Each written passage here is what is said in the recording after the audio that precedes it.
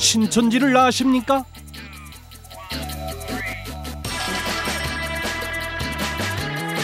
영생이 있다고 믿습니다. 영생이라는 것이 별겁니까? 안 좋은 영생이지?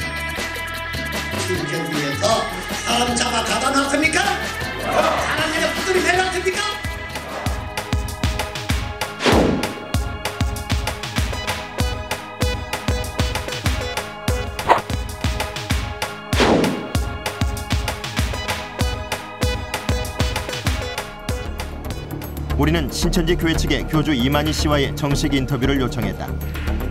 인터뷰는 이만희 씨의 자택에서 진행됐다. 부인과 함께 살고 있다는 이 아파트는 전세라고 했다. 신천지 측에선 4만 5천 신도를 이끄는 교주님 치곤 지나칠 정도로 소박한 삶이라고 강조했다. 우리는 무엇보다 이만 씨가 자신을 재림 예수라고 칭했는지 궁금했다. 정말 그 사람은 박사다 그죠? 재림 예수라는 거 그렇게 가는 거 보니까 지가 재림 예수냐 했는데 물어봤나 나한테? 물어봤다 그래요? 참, 나이 답답한 사람들이에요. 그거 예, 들어보세요. 그거는 날 소개를 하는 게 아니고 예? 기자장만 소개를 한 소리겠지. 그렇다면 교인들이 믿고 있다는 그 영생은 어떻게 된 것일까? 총 회장님은 영생 그런 거 얘기한 적도 없고 재림예수라고 자칭하신 적도 없고 그런데 신도들이 되게 오해들을 많이 하고 계신 것 같아요. 내가 영생이나 뭐 이런 게 없다 있다 그런 게 아니라 아까 내가 설명한 그대로거든요.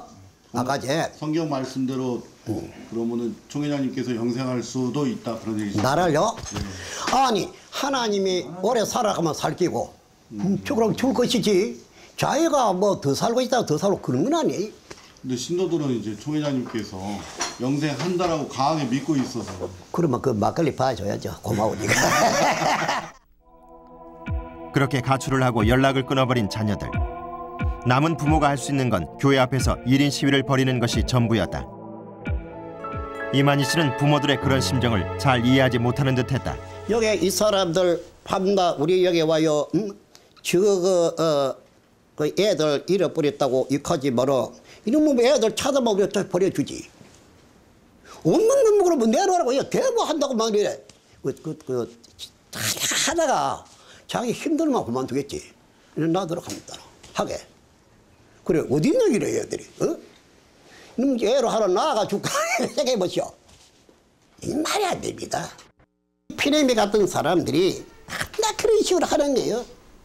우리 뭐 사람은 여기 뿌돌이 매놨나 가도 안 났나 뭐 하는 겁니까? 하도 이제 부모들이 말만 하면 그 애들도 못 오게 합니다. 아, 필요 없다 가르치게.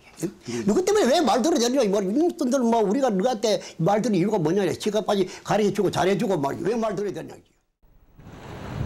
신천지 교회의 총본산격인 과천 신천지 교회. 몇 번의 요청 끝에 우리는 그들의 수요 예배를 촬영할 수 있게 됐다. 반갑습니다. 이미 예배가 시작된 후에야 제작진의 교회 입장이 허락됐다. 신천지는 이 쇼핑센터 9층의 사용 용도를 문화시설로 신고했기 때문에 종교 집회를 가져서는 안 된다.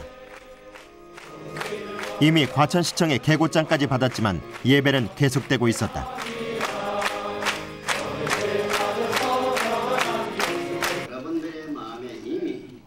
신천지 측의 자랑처럼 교인들의 숫자는 놀라울 정도였다. 이날 이만희 교주는 설교의 상당 부분을 PD 수첩 방영을 선포하는 데 썼다.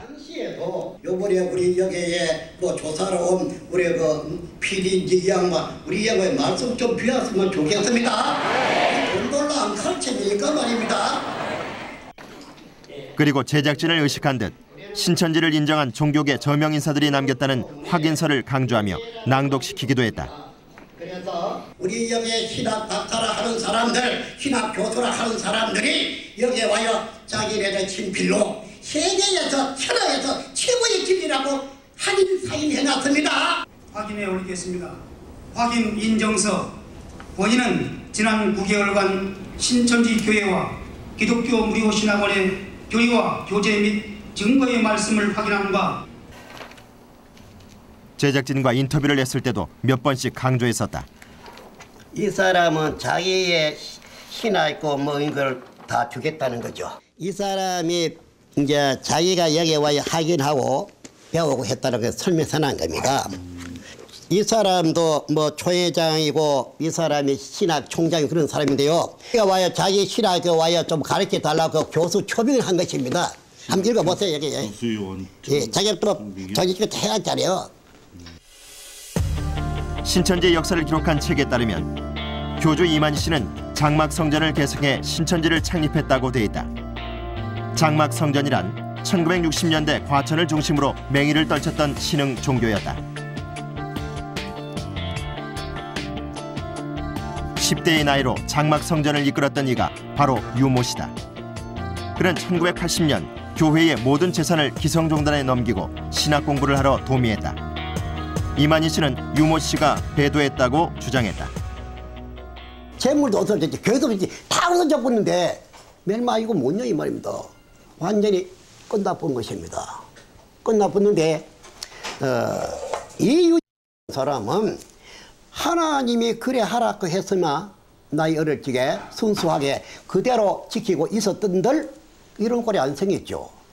자기가 이것을 그 갖다 줬부서니까 완전히 끝나봤습니다. 이만희 교주는 장막 성전이 있던 과천에 터를 잡고 최근엔 과천을 성지화하는 데 박차를 가하고 있다. 인구 6만 명의 과천에 14만 4천 명이 들어갈 수 있는 성전을 건립하겠다는 것이 신천지 측의 꿈이자 목표다. 저는 왜 성지가 된 겁니까? 옛날에는 우리나라 왕이 어떤 집에 가서 하룻밤 자게 되면 그 집을 왕의 집이라고 그래 인정을 했어요. 안 그렇습니까? 이제 하나님이 우리 과천에 왜 한번 자고 갔다 하자. 이거 하나님 땅이에요.